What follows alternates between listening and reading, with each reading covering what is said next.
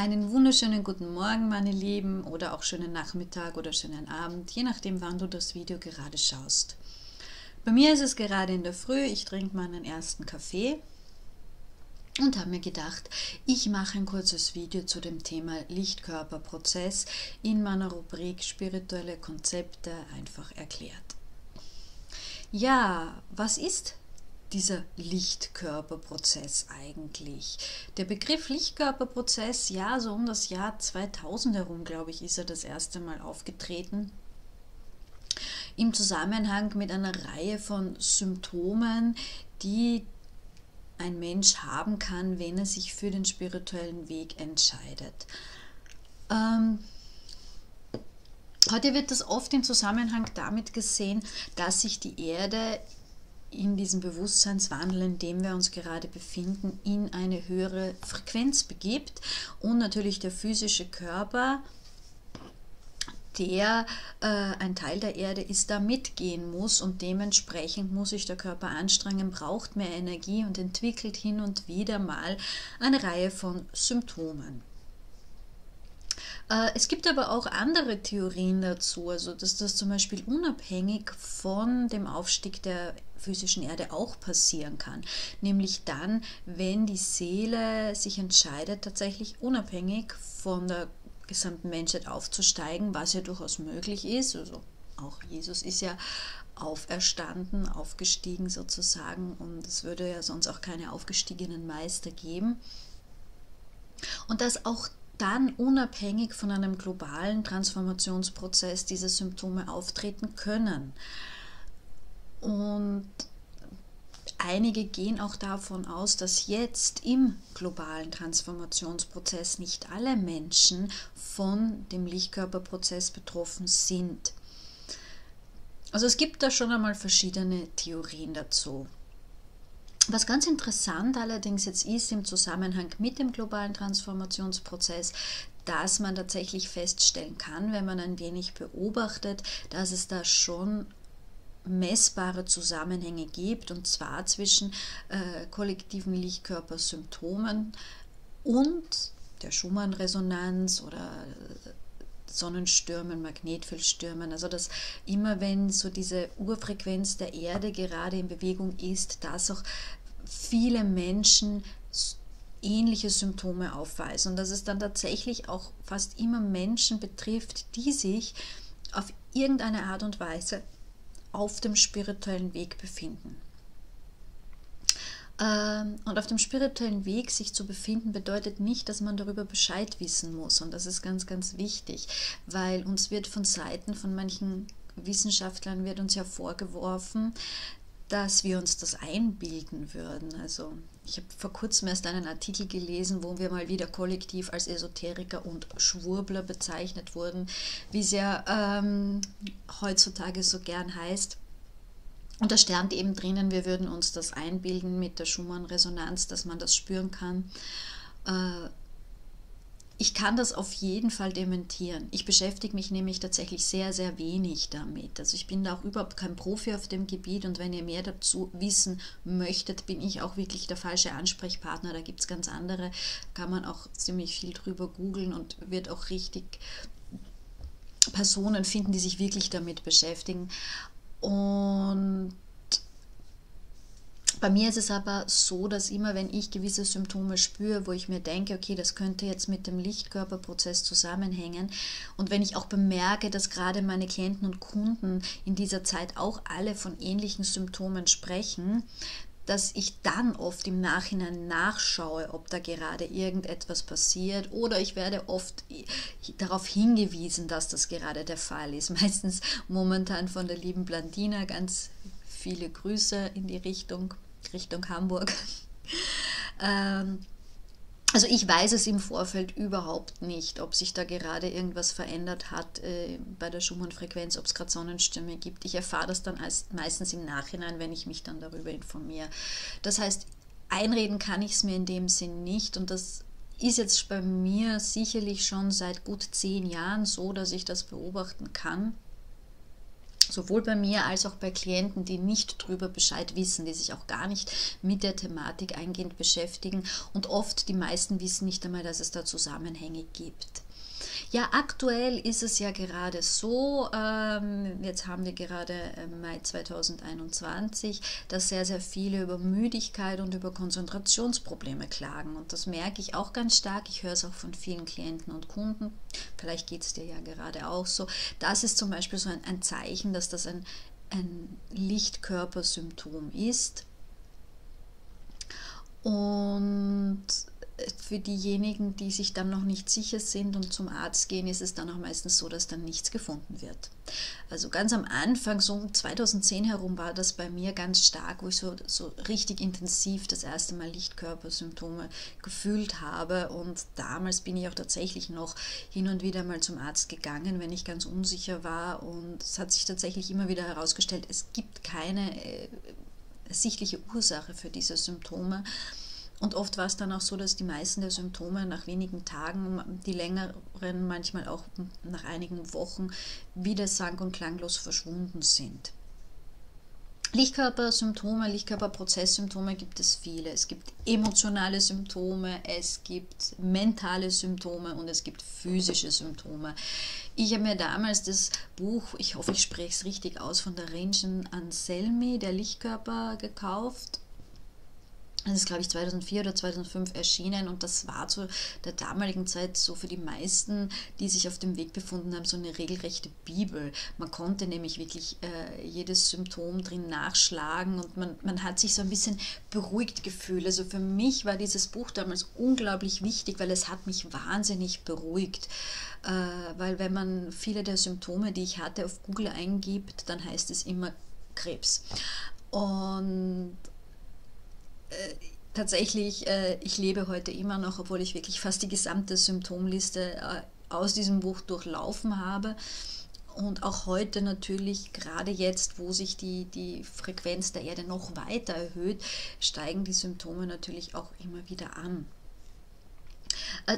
Ob du die Symptome stark oder weniger stark spürst, das, da gibt es viele Zusammenhänge. Also das kann, es, es, liegt erstens einmal an deinen Themen, es liegt an de, deiner Gesundheit, wie du dich ernährst, zum Teil auch wie alt man ist natürlich. Ja. Ähm, aber auch das Bewusstsein spielt hier eine ganz, ganz große Rolle. Ich glaube, ich habe es in irgendeinem anderen Video auch schon mal erzählt. Ich bin jetzt nicht jemand, der sich wirklich wahnsinnig unbedingt ständig so gesund ernährt. Ich trinke ja auch gerade Kaffee und viele auf dem spirituellen Weg haben sich das längst abgewöhnt. Ähm, ich würde jetzt nicht sagen, ich ernähre mich ungesund, also ich ernähre mich jetzt nicht von Fastfood oder solchen Sachen, aber ich trinke schon einmal ganz gern ein Bier äh, und esse auch durchaus gern mal ein bisschen deftiger. Also ich kann, jetzt nicht sagen, ich ernähre mich von Rohkost und und schaue, dass das wirklich ganz perfekt alles super gesund ist. Also gerade muss ich gestehen, mein Frühstück heute hat aus einem Käsetoast bestanden mit Kaffee. Also ich denke, da sind einige auf dem spirituellen Weg um einiges gesünder unterwegs wie ich. Trotzdem äh, koche ich mit sehr oft äh, mit viel Gemüse und kann auch nicht sagen, dass ich da jetzt irgendwie mich schlecht ernähre. Die Lichtkörpersymptome würde ich äh, bei mir so heute einordnen im mittleren Bereich. Ich fühle sie, aber ich fühle sie nicht immer unbedingt so stark. Und wenn sie allerdings mit meinem physischen Körper äh, in Resonanz gehen, also mit meinen Themen, die auch mein physischer Körper hat, dann spüre ich sie intensiv. Ähm, also wenn du zum Beispiel, also was auch aktuell viele beklagen, sind Rückenschmerzen. Wenn du aus irgendeinem Grund zu Rückenschmerzen ohnehin schon neigst, dann kann es sein, dass sich deine Rückenschmerzen besonders schlimm anfühlen. Ähm, wenn du äh, oder du neigst zum Beispiel dazu, du hast hauptsächlich Nackenschmerzen und plötzlich bekommst du Schmerzen im unteren Rücken und das ist neu für dich, könnte auch ein Hinweis auf Lichtkörperprozesssymptome sein. Wenn du jetzt gar nicht zu Rückenschmerzen neigst, dann hast du sie vielleicht nur leicht oder vielleicht sogar gar nicht, weil, äh, weil du gerade erst mal Anfang 20 bist und dein Körper diesen Prozess, diesen Transformationsprozess einfach noch viel besser wegsteckt und es da auch keine Thematik gibt. Aktuell eben diese Konzentrationsprobleme und die Müdigkeit, das sind zum Beispiel Symptome, die auch bei der Krankheit Hashimoto auftreten, äh, die ich angeblich habe. Ich sage bis heute angeblich, ich habe die Diagnose immer noch nicht ganz akzeptiert. Und ähm, äh, ich kenne aber diese Symptomatik von der Anfangszeit, wo ich die Diagnose bekommen habe vor einigen Jahren und äh, jetzt, wo das gerade so viele wahrnehmen, muss ich auch tatsächlich sagen, ist es bei mir manchmal ganz besonders stark. Also gestern zum Beispiel hatte ich eine Rückführung und ich habe mir wahnsinnig schwer getan, mich zu konzentrieren und das bei Hypnosetexten, die ich jetzt seit 15 Jahren äh, tagtäglich fast spreche und die ich schon in und auswendig kann. Was kannst du tun, um mit dem Lichtkörperprozess äh, gut und vernünftig umzugehen. Äh, da gibt es viele Tipps. Äh, ich glaube, der Tipp Nummer eins, den man überall findet, ist viel, viel Wasser trinken. Äh, also in manchen äh, Texten oder Büchern gibt es sogar Mengenangaben. Also da halte ich ein bisschen Abstand davon. Also wenn da steht, äh, alle sollten jetzt 2,5 bis 3 Liter Wasser trinken, äh, muss ich dazu sagen, das liegt schon an der Körpergröße. Also wenn ich mit meinen 1,57 Meter 2 bis 3 Liter Wasser am Tag trinke, brauche ich meine Toilette gar nicht mehr verlassen.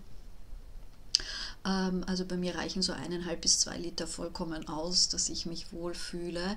Also einfach auch rausfinden, wo fühlt ihr euch wohl, was könnt, was müsst ihr an, an, an äh, bei eurer Ernährung verändern. Äh, es ist nicht unbedingt so, dass jetzt bei jedem es funktioniert, äh, weniger Gluten zu essen zum Beispiel und so weiter. Also ihr müsst wirklich herausfinden, was euch gerade gut tut und äh, ich kann euch nur sagen, innerhalb des Lichtkörperprozesses, das kann sich auch wieder verändern. Ähm, ich konnte über Jahre hinweg keinen einzigen Schluck Alkohol trinken. Also ich habe das überhaupt nicht vertragen. Es ging mir gar nicht gut damit. Ich habe es dann auch einfach über Jahre nicht getan. Heute ist es so, dass ich durchaus ähm, hin und wieder Alkohol trinken kann. Ich selbst vertrage am allerbesten, wenn dann einmal ein Bier, vertrage ich besser als Wein oder andere Sachen. Aber ich kann es wieder trinken, ohne dass es mir wahnsinnig schlecht geht. Wenn ich es übertreibe, das vertrage ich heute überhaupt nicht mehr. Das könnte jetzt am Alter liegen oder auch am Lichtkörperprozess, äh, sei mal dahingestellt. Ähm, aber findet für euch raus, also findet du für dich raus, was innerhalb des Lichtkörpersprozesses verträgst du gerade und was nicht und dann lass es einfach weg.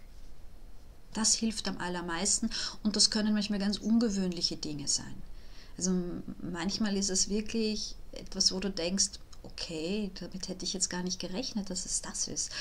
Und manchmal kannst du Sachen essen, die andere im Lichtkörperprozess eben nicht können. Also ich kenne ganz viele, die können jetzt überhaupt keinen Schluck Alkohol vertragen. Ich kann es halt.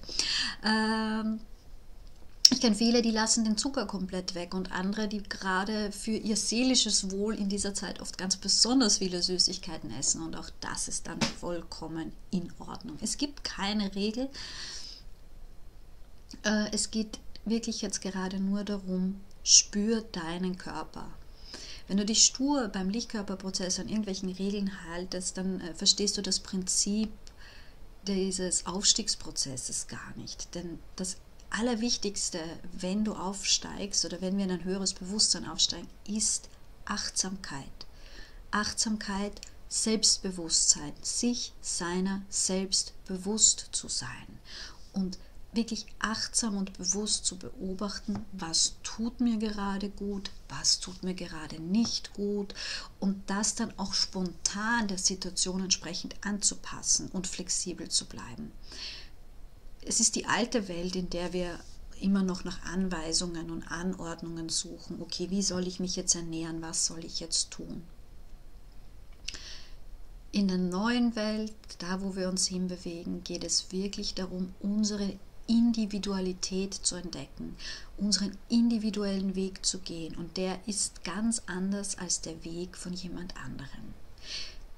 Natürlich ist es sehr, sehr beruhigend, gerade im Bereich des Lichtkörperprozesses, wenn wir uns gerade innerhalb von so einer Phase, von so einem Schub befinden, dann nachzugoogeln und nachzuschauen und herauszufinden, oh, es geht mir nicht allein gerade so, es geht gerade ganz, ganz vielen genauso wie mir. Das ist sehr beruhigend, äh, weil gerade wenn man sich so wie ich über zehn Jahre im Lichtkörperprozess immer wieder befindet, ist es auch immer wieder zum Arzt laufen und abzuklären. Also ich habe gelernt, da für mich auch einmal zu beobachten, abzuwarten und es ist auch für viele von euch, die vielleicht nicht so wie ich jetzt, ich wohne hier in Wien in der Stadt, es gibt hier ganz tolle Alternativärzte, die jetzt nicht schulmedizinisch arbeiten, ähm, aber viele sitzen ja auch von euch irgendwo vielleicht am Land, wo man jetzt nicht so schnell äh, zu einem alternativen Arzt äh, findet und man doch recht schnell mit Medikamenten äh, versorgt wird, die der Körper gerade eigentlich nicht unbedingt benötigt. Ja, ich hoffe, ich darf das hier jetzt überhaupt sagen. Also falls nicht, sage ich jetzt gleich dazu, ähm, das ist meine persönliche Meinung und kein Ratschlag. Ich bin kein Mediziner. Weiß ja heutzutage nicht mehr, was man sagen darf und was nicht, äh, gerade in Zeiten der Zensur. Gut, ihr Lieben, das war es aber jetzt auch schon. Äh, ich habe jetzt einmal so einfach so ein bisschen gequatscht äh, über dieses Thema. Ich bin kein Profi auf diesem Thema, äh, nur insofern, dass ich viele Erfahrungen selbst gemacht habe mit diesem Prozess und viele Menschen kennen, die das auch haben und festgestellt habe, ja, es gibt ihn, auch wenn man sich nicht damit beschäftigt und man jetzt nicht sagen kann, ich rede mir das nur ein. Nein, äh, auch wenn du dich nicht damit beschäftigst. Er ist da und wenn du ihn spürst, dann gehörst du auch zu dieser Gruppe, die gerade mitten im Umbau ist. Also bis zum nächsten Mal sage ich jetzt alles Liebe und Tschüss.